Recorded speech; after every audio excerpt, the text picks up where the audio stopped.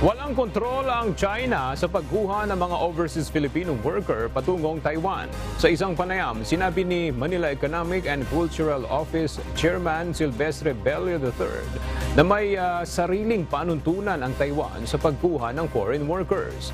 Ang pahayag ay ginawa ni Bello kasunod ng lumabas na impormasyon kung saan sinabi umano ni Chinese Ambassador to the Philippines, Wang Xilian, na kung may pakialam ang Pilipinas sa mga OFW sa Taiwan, dapat nitong tutulan ng Taiwan independence kaysa bigyan ng access sa military facilities ng bansa ang Estados Unidos.